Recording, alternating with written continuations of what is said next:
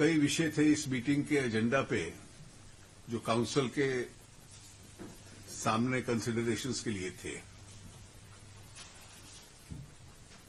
GST को implement किए हुए पहली जुलाई से लगभग तीन महीने पूरे हुए हैं और पहले दो महीनों की, जुलाई और अगस्त की रिटर्न्स भी फ़ाइल हुई हैं। और इसलिए अलग अलग ट्रेड्स पर, व्यवसायों पर इसका क्या असर है? और इस पूरे परिवर्तन में ट्रांजिशन में किसके सामने क्या क्या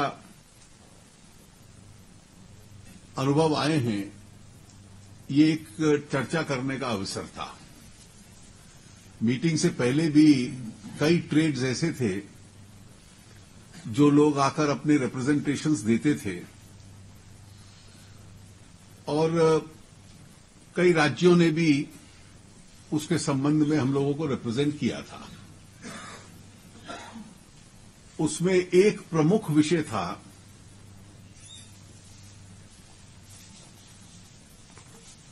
स्मॉल स्केल सेक्टर का। और एक प्रमुख विषय था एक्सपोर्ट्स का। इसके साथ साथ कई ऐसे प्रोडक्ट्स थे गुड्स और सर्विसेज़ जिसको रेट्स को लेकर भी कुछ लोगों के रिप्रेजेंटेशंस थे। इसके साथ साथ जो कलेक्शंस हुए हैं अभी तक दो महीने के, उनको भी एनालाइज करना, उसका विश्लेषण करना, इसका एक अनुभव था। एक बात मैं स्पष्ट कर दूँ कि अभी जो पैटर्न होगा कलेक्शंस का, इस दो महीने से पूरा स्पष्ट इसलिए नहीं होता, क्योंकि ये ट्रांजिशन का फ़ेज़ है। और इस ट्रांजिशन के फ़ेज़ में जिनके पास पहली जुलाई से पहले पुराने स्टॉक्स थे तो उसका वो ट्रांजिशन क्रेडिट क्लेम करते हैं। और एक बार वो व्यवस्था समाप्त होगी तो जो पोस्ट जीएसटी रेजीम में प्रोडक्ट्स मैन्युफैक्चर होंगे या बिकेंगे या सर्विसेज़ प्रोवाइड की जाएँगी, केवल उसका जो रेवेन्यू होगा, वो उससे एक पैटर्न उभर कर सामने आएगा। और इसलिए जैसा मैंने कहा कि पहला प्रमुख आइटम जो आज की मीटिंग में हम लोगों ने कंसिडर किया, वो एक्सपोर्टर्स के संबंध में था। और एक्सपोर्टर्स के संबंध में जो मूल समस्या थी कि एक्सपोर्ट के ऊपर टैक्सेशन तो लगता नहीं है। क्योंकि जब आप एक्सपोर्ट करते हैं तो आपको टैक्सेस तो एक्सपोर्ट कर नहीं सकते, क्योंकि उससे एक्सपोर्ट नॉन कम्पिटिटिव हो जाते हैं। एक्सपोर्ट्स को दुनिया के बाज़ार में प्रतिस्पर्धा करनी पड़ती है कंपटीशन करना पड़ता है। और इसलिए एक कमेटी सेक्रेटरीज की बनी थी, जिसमें स्टेट्स के और सेंटर के ऑफिशियल्स थे, जिसकी रिकमेंडेशन कंसिडर की गई। और यह आया कि जो एक्सपोर्टर्स का क्रेडिट है, उसका काफ़ी ब्लॉकेज हुआ हुआ है। जिससे उनकी कैश लिक्विडिटी के ऊपर असर पड़ता है। उसका डेटा तो इलेक्ट्रॉनिकली अवेलेबल है, लेकिन उसकी जो तुरंत रिफंड व्यवस्था है, वो इलेक्ट्रॉनिकली धीरे धीरे बन रही है। उस व्यवस्था को बनने में कुछ समय लग सकता है। और इसलिए यह तय हुआ कि क्रॉस एम्पावरमेंट के माध्यम से सेंट्रल गवर्नमेंट और स्टेट्स के ऑफिशियल्स दोनों एम्पावर्ड रहेंगे और इमीडिएटली तुरंत आज 6 अक्टूबर है 10 अक्टूबर से जुलाई के महीने का और 18 अक्टूबर से अगस्त के महीने का रिफंड्स प्रोसेस करके उन एक्सपोर्टर्स को उनके चेक्स दे दिए जाएँगे। ये केवल एक इंटरिम व्यवस्था होगी और एक कमेटी की रिकमेंडेशन थी जिसने एक लॉन्ग टर्म सोल्यूशन सजेस्ट किया है। और वो लॉन्ग टर्म सोल्यूशन इस बेस पे है कि जीएसटी में एग्जेम्पशन तो होता नहीं है।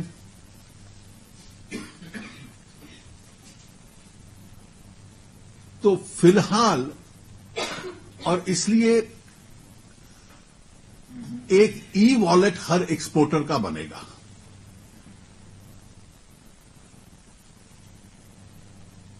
उस ई वॉलेट में एक नोशनल अमाउंट उसको एडवांस रिफंड की दृष्टि से दिया जाएगा।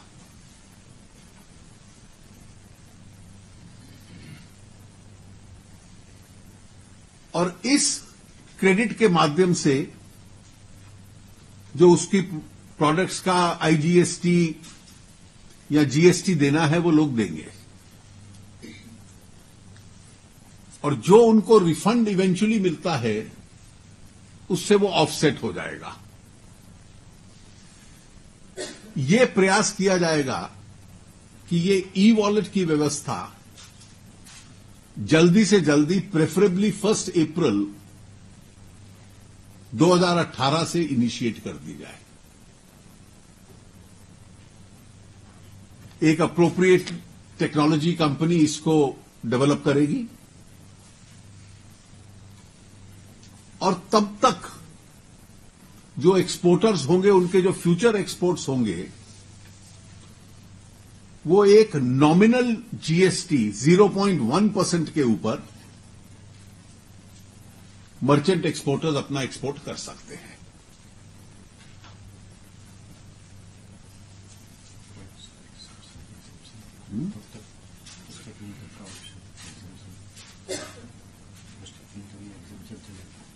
तो ये जो एग्जेम्पशन उनको दिया जा रहा है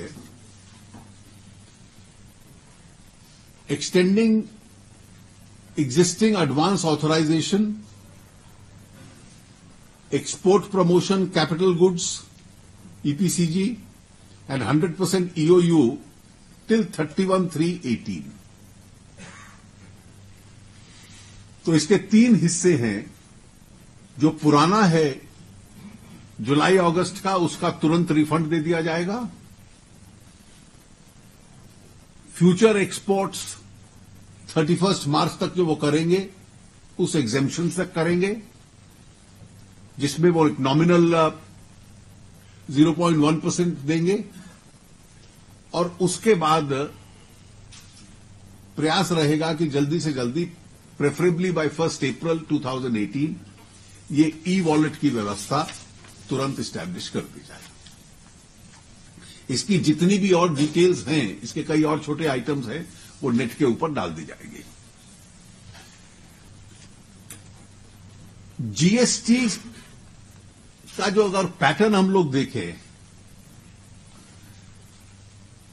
तो अभी तक जो पेमेंट पैटर्न है कलेक्शन पैटर्न है, उसमें जो बड़े प्लेयर्स हैं सब्सटैंशियल टैक्सेशन उनकी तरफ़ से आता है। जो स्मॉल और मीडियम टैक्स पेयर्स हैं नॉमिनल या नील टैक्स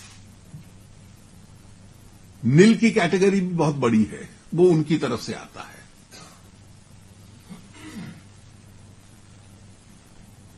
और छोटे लोगों पे क्योंकि टैक्स का बर्डन कम है, लेकिन कंप्लायंस का दबाव ज़्यादा है। ये सभी मेंबर्स ने जो रिप्रेजेंटेशन आई थी उसके बेस के ऊपर इसको एग्जामिन किया था। और इसलिए हम लोगों ने एक डिटेल्ड एग्जामिनेशन इसका किया। और इसकी एक व्यवस्था बनाने की कोशिश की है, जिसमें जो लार्ज टैक्स, जिसके पक्ष यह है कि जो मेजर टैक्स कलेक्शन है, लगभग 94-95 परसेंट, जो बड़े प्लेयर से आता है, उसका एकदम फ्लो बढ़ता रहे। दूसरा जो मीडियम और स्मॉल टैक्स पेयर्स हैं, वो टैक्स नेट में रहें ताकि टैक्स बेस बढ़ता रहे। लेकिन उनका कंप्लायंस बर्डन हम लोग रिलैक्स कर दें। और इसलिए कुछ प्रमुख निर्णय इस संबंध में किए गए। जो कॉम्पोजिशन स्कीम है जिसकी इलिजिबिलिटी पिचहत्तर लाख रुपए की टोटल टर्नओवर तक थी। उसमें हमारे पास थोड़ा हेड स्पेस था, क्योंकि कानून में एक करोड़ रुपए की का प्रावधान है। तो कॉम्पोजिशन स्कीम का दायरा आज बढ़ा दिया गया है। और कॉम्पोजिशन स्कीम अब पिचहत्तर लाख के स्थान पर एक करोड़ तक जिसकी टर्नओवर है, वो लोग कर सकते हैं। इस कॉम्पोजिशन स्कीम में तीन प्रकार के लोग आते हैं। जो ट्रेडिंग करते हैं, वो एक वन परसेंट टैक्स देंगे। यानी एक करोड़ तक की टर्नओवर होगा तो केवल एक परसेंट टैक्स देना पड़ेगा। जो मैन्युफैक्चरिंग में है, उनको दो परसेंट देना पड़ेगा। और जो रेस्टोरेंट बिज़नेस में हैं, उनको पाँच परसेंट देना पड़ेगा। तो कॉम्पोजिशन स्कीम का दायरा बढ़ा दिया गया है।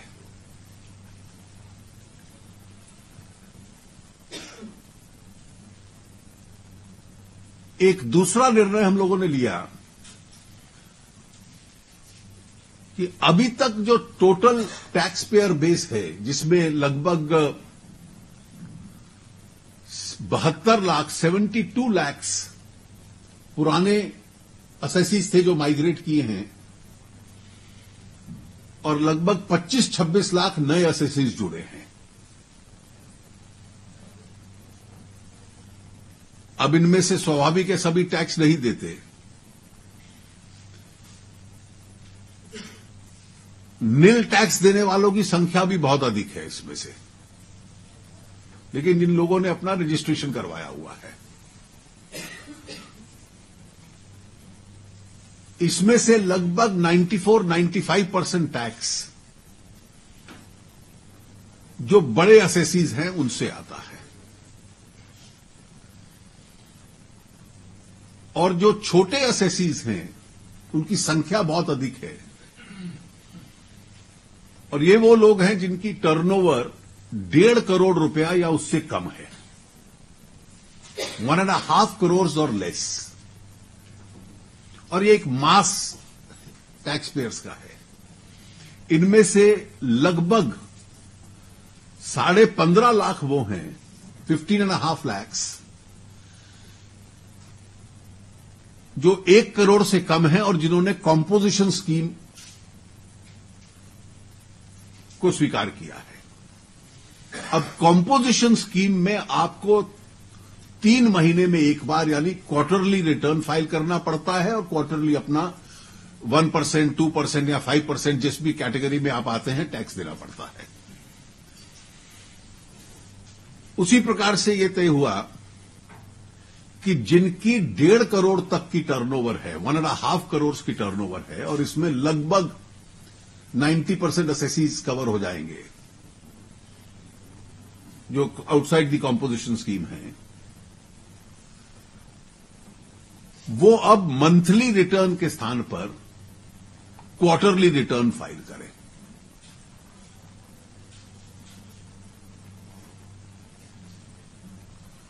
जो वन एंड हाफ़ करोड़ से ज़्यादा टर्नओवर वाले हैं, वो पुरानी व्यवस्था के मुताबिक GST one two three three B सब उसी हिसाब से फ़ाइल करते रहेंगे मंथली और इस तरीके से जो स्मॉल और मीडियम टैक्स पेयर है, जिसकी टर्नओवर डेढ़ करोड़ से कम है, उसका कंप्लायंस बर्डन दो तरीके से कम हुआ कि एक करोड़ से छोटे वाला कॉम्पोजिशन में जा सकता है, वो भी क्वार्टरली है, और नॉमिनल टैक्स दे सकता है और अगर वो आईटीसी का बेनिफिट लेना चाहे इनपुट टैक्स क्रेडिट का तो वो क्वार्टरली रिटर्न फ़ाइल कर सकता है। इसके साथ साथ कुछ विषय ऐसे थे जो कुछ मेंबर्स ने रेस किए जिसको लेकर काउंसिल में काफ़ी डिस्कशन था। अलग अलग मत थे लोगों के। कि ये जो पहला विषय जो ये एक करोड़ रुपया काउंट होगा तो क्या इसमें टैक्स पेमेंट की दृष्टि से केवल टोटल टर्नओवर देखी जाएगी या इसमें एग्जेम्प्टेड गुड्स बाहर किए जा सकते हैं? जैसे कोई ग्रोसरी शॉप चलाता है, अब ब्रांडेड आइटम पे वो पाँच परसेंट देता है लेकिन जो खुला आटा चावल बेचता है, उस पर ज़ीरो टैक्स है। तो टैक्स किस, वो जो वन परसेंट देगा, अगर ट्रेडर है तो वो एग्जेम्प्टेड गुड्स भी उस वन परसेंट में आएँगे कि वो बाहर रहेंगे। अभी तक पुराने वैट रिजीम में भी और प्रेजेंट रिजीम में भी वो उसमें गिने जाते हैं। तो अगर उससे मुक्ति मिल जाती है तो फिर उसका कंप्लायंस और सरल हो जाता है। दूसरा, एक विषय कई सदस्यों ने रेज किया कि क्या कॉम्पोजिशन स्कीम में जो लोग आए हैं, उनको इंटरस्टेट सेल्स अलाउड है कि नहीं? अभी कानून उसकी अनुमति नहीं देता। तो क्या इसमें परिवर्तन सोचना चाहिए? और तीसरा जो ये दो परसेंट मैन्युफैक्चरिंग में टैक्स देते हैं तो क्या इनको दो परसेंट के हिसाब से इनपुट क्रेडिट मिलना चाहिए कि नहीं? अब ये विषय थे जिनको डेप्थ में एग्जामिन करने की ज़रूरत है। और एक जीएसटी काउंसिल की तरफ़ से group of ministers finance ministers होगा स्टेट्स का। वो इसको अर्जेंट बेसिस पे एग्जामिन करेगा। और दो सप्ताह में, दो वीक्स में अपनी रिपोर्ट देगा।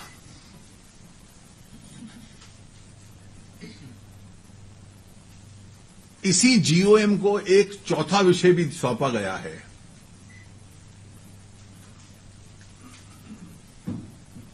क्योंकि एक प्राय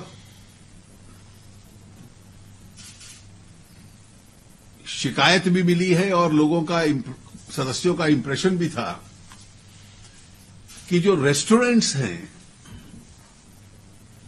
जो एक करोड़ से कम वाले टर्नओवर के होंगे, जो पहले पिचहत्तर लाख से कम वाले, वो तो पाँच परसेंट कॉम्पोजिशन में आते हैं। जो उससे बड़े हैं,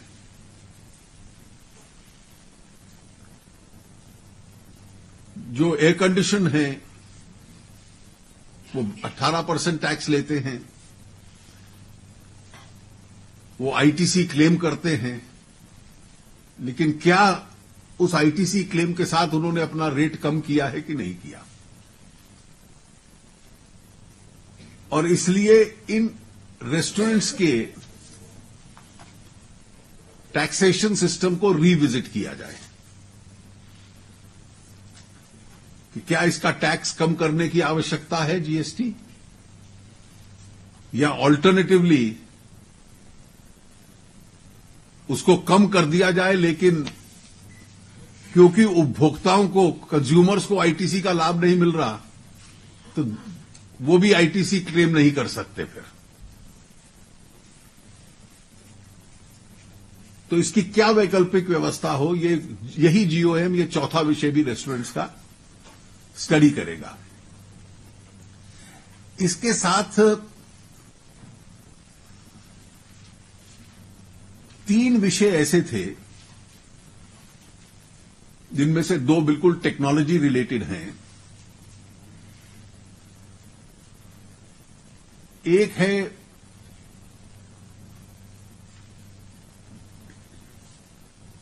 ईवे बिल कब से लागू किया जाए? ईवे बिल कर्नाटक में एक्सपेरिमेंटल बेसिस पे शुरू हो चुका है। उनका अनुभव काफ़ी पॉजिटिव है। तो धीरे धीरे फ़र्स्ट जनवरी के बाद जैसे ही उसकी टेक्नोलॉजी एक्सपैंड होती है, और स्टेट्स में जाएगा, और कोशिश होगी कि फ़र्स्ट अप्रैल तक इसको पूरा लागू करने की कोशिश की जाए। रिवर्स चार्ज मैकेनिज्म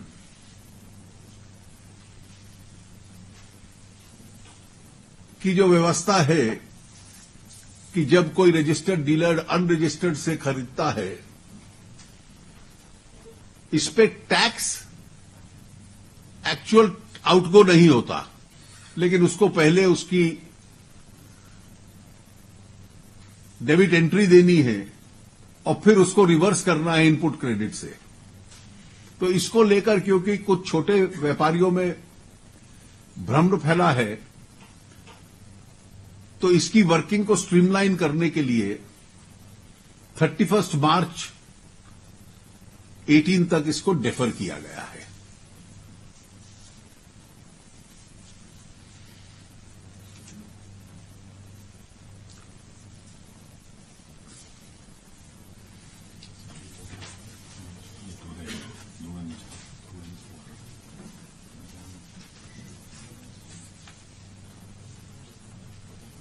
एक इसमें डिसीज़न है कि person providing any exempted service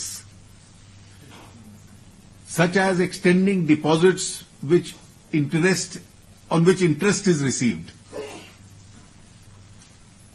are eligible for the composition scheme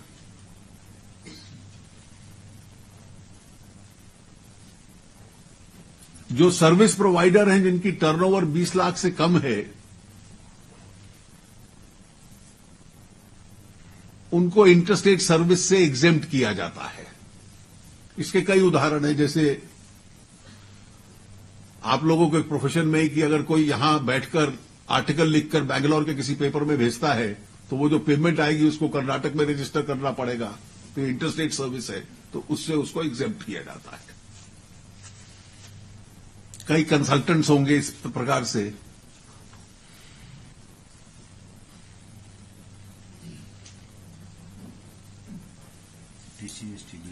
TDS और टीसीएस के जो प्रोविजंस हैं उनको भी पहली अप्रैल 2018 से ऑपरेशनलाइज किया जाएगा।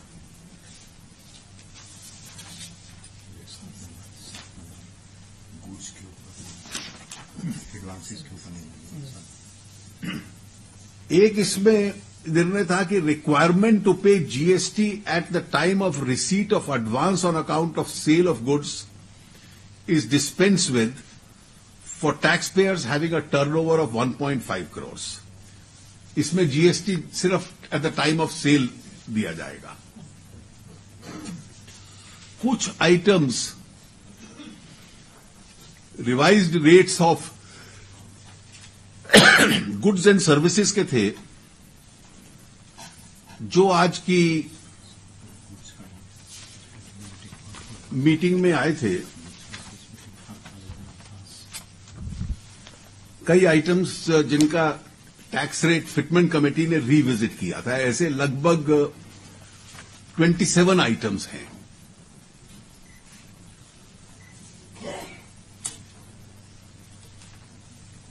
जैसा मैंने कहा कि हमने जो पहले फिक्स किए थे they were fixed on the principle of equivalence कि पहले वैट रिजीम में क्या लगता था। अब उस वक्त क्योंकि एक्साइज डिस्गाइज्ड होता था और छुपा होता था तो किसी को पता ही नहीं चलता था कि इस पर कितना टैक्स है। जैसे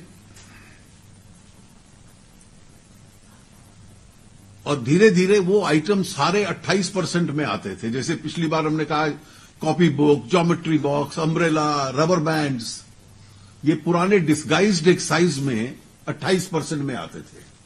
तो इसलिए इनको हम लोगों ने कम किया था। इसी तरह इस बार भी कुछ आइटम्स हैं जो इस कैटेगरी में आते हैं, उसको कम किया गया है। लेकिन मैं आपके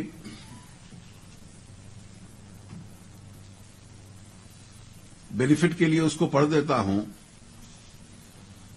स्लाइस्ड ड्राइड मैंगोज 12 से 5 परसेंट किया गया। खाखड़ा एंड प्लेन चपाती 12 से 5 किया गया। जितने ये जो आईसीडीएस के जो बच्चों के फ़ूड पैकेट्स जाते हैं स्कूल्स में, ये 18 परसेंट था पुरानी रेजिम में, उसको 5 परसेंट किया गया।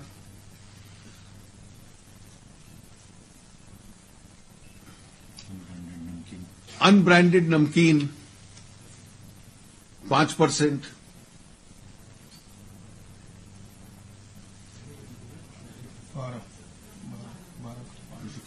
बारह को पाँच किया गया। अनब्रांडेड आयुर्वेदिक मेडिसिन बारह से पाँच।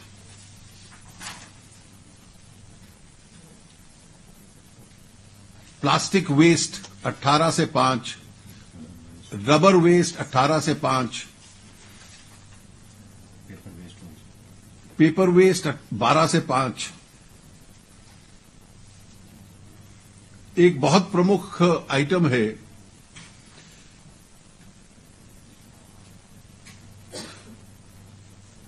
यान मैडमेड यान।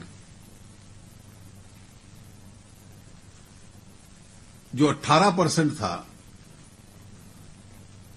उसको 12 परसेंट किया गया है।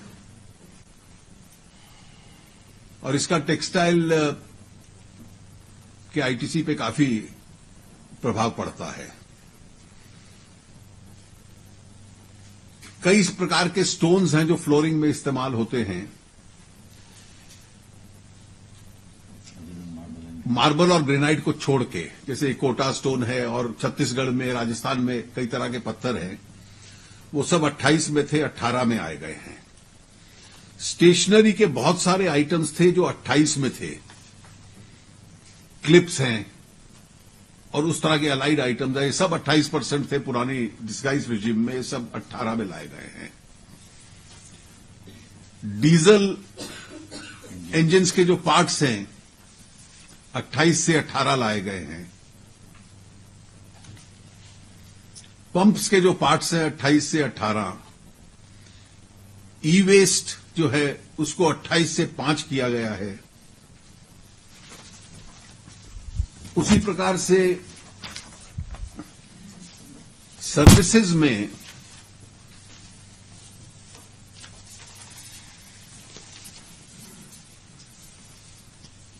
ये जो जॉब वर्क करते थे, जरी का उसको 12 से 5 में लाया गया है काफ़ी सारे जॉब वर्क के आइटम जॉब वर्क के कई आइटम्स हैं इमिटेशन ज्वेलरी के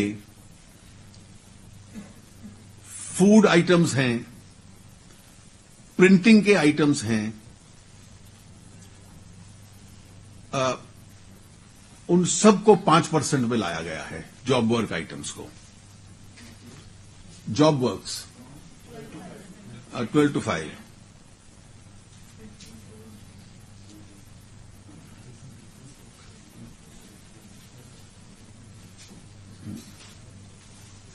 ये जो government contracts involving high element of labour जैसे पिछली बार ये सारे 18 परसेंट के थे गवर्नमेंट कॉन्ट्रैक्ट्स के। और 18 परसेंट में से हम लोगों ने 12 परसेंट कर दिए थे। तो जितनी गवर्नमेंट बिल्डिंग्स वगैरह हैं, वो तो 12 में रहेंगी। लेकिन जैसे इरिगेशन कॉन्ट्रैक्ट्स हैं जिसमें कंस्ट्रक्शन मटेरियल कम होता है लेबर कंपोनेंट ज़्यादा होता है। हाई लेबर कंपोनेंट वाले उनको पाँच परसेंट पे किया गया है in order to contain the cost of those programmes इसकी एक डिटेल लिस्ट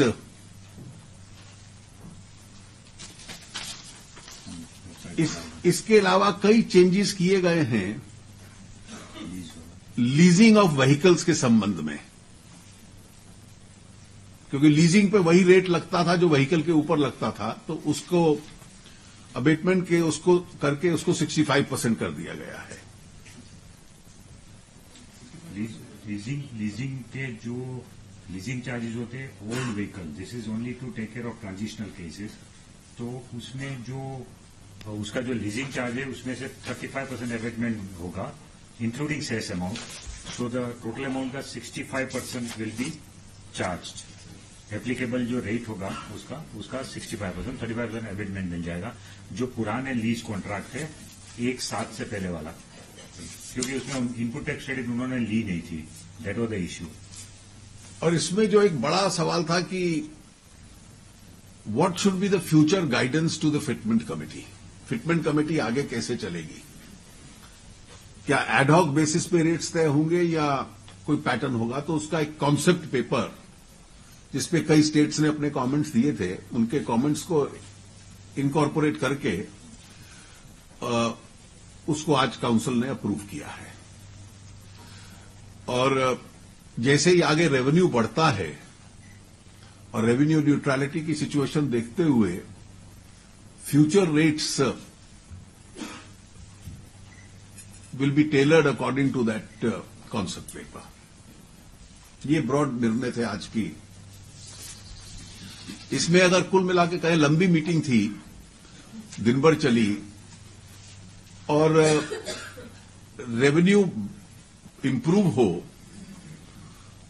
एक वो कंसिडरेशन था, और दूसरी तरफ़ एक रेवेन्यू का पैटर्न स्टडी करके, कि जहाँ जहाँ कन्वीनियंस क्रिएट की जा सकती है ताकि ट्रांजेक्शन टैक्स सिस्टम का स्मूथ रहे, ये एक प्रयास आज की मीटिंग के अंदर हुआ है।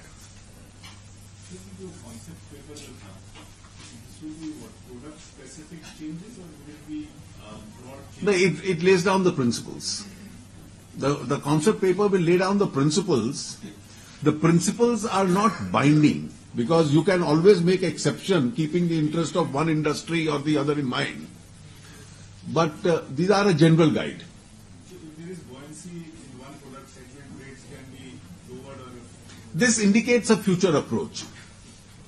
Sir GST में जो रिटर्न फाइलिंग की स्पेसिफिक देखिए रिटर्न फाइलिंग में the experience of the August returns has been much better than that uh, in uh, July. And secondly, now अब जो पैटर्न आएगा क्योंकि मंथली रिटर्न तो बहुत थोड़े लोगों की रहेगी अधिकतर लोगों की क्वार्टरली होगी और उसमें भी दो कैटेगरी होंगी एक कॉम्पोजिशन होगी एक नॉन कॉम्पोजिशन होगी तो अब फेजिंग करने का भी एक आपको अवसर मिल जाएगा So everybody need not end on the same day.